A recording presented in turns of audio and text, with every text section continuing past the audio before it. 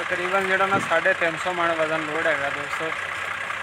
ਦੋਸਤੋ ਵੀਡੀਓ ਨੂੰ ਮੁਕੰਮਲ ਦੇਖਣਾ, ਨਾਲੇ ਵੀਡੀਓ ਨੂੰ ਲਾਈਕ ਵੀ ਕਰ ਲਓ, ਨਾਲੇ ਚੈਨਲ ਨੂੰ ਵੀ ਸਬਸਕ੍ਰਾਈਬ ਕਰ ਲਓ ਜੀ। ਤੇ ਤੁਹਾਨੂੰ ਮੁਕੰਮਲ ਵੀਡੀਓ ਦਿਖਾਵਾਂਗੇ ਦੋਸਤੋ ਟਰੈਕਟਰ ਦੀ।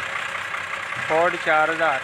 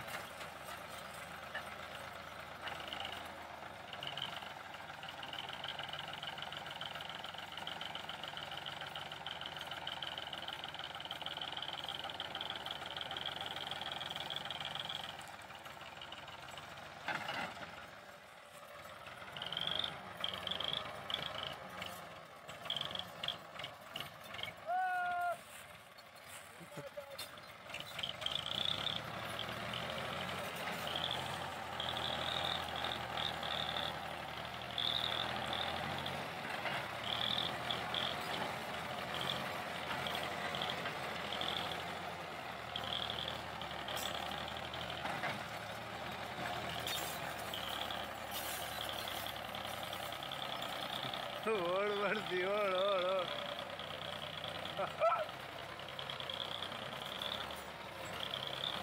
ਠੀਕ ਹੈ ਠੀਕ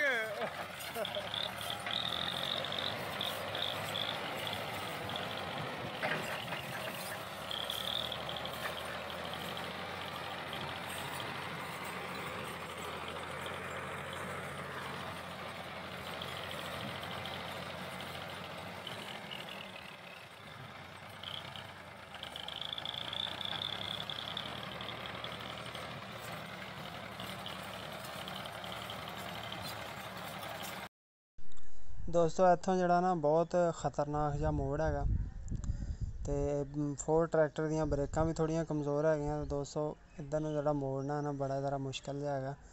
ਅਤੇ ਦੋਸਤੋ, ਅੱਜ ਦੀ ਵੀਡੀਓ ਮੁਕੰਮਲ ਕਰਦੇ ਹਾਂ। ਇਨਸ਼ਾਅੱਲਾ ਜਿਹੜਾ ਨੈਕਸਟ ਵੀਡੀਓ ਲੈ ਕੇ ਆਵਾਂਗੇ ਦੋਸਤਾਂ ਵਾਸਤੇ, ਇਸ ਤੋਂ ਵੀ ਅੱਛੀ। ਤੇ ਚੈਨਲ ਨੂੰ ਸਬਸਕ੍ਰਾਈਬ ਕਰ ਲਓ ਜੀ। ਤੇ ਨਾਲੇ ਵੀਡੀਓ ਨੂੰ ਵੀ ਲਾਈਕ ਕਰ ਲਓ। ਇਨਸ਼ਾਅੱਲਾ ਜਿਹੜਾ ਨੈਕਸਟ ਤੁਹਾਡੇ ਵਾਸਤੇ ਅੱਛੀਆਂ ਅੱਛੀਆਂ ਵੀਡੀਓ ਆਉਂਦੀਆਂ ਰਹਿਣਗੀਆਂ ਇਸ ਚੈਨਲ ਤੇ।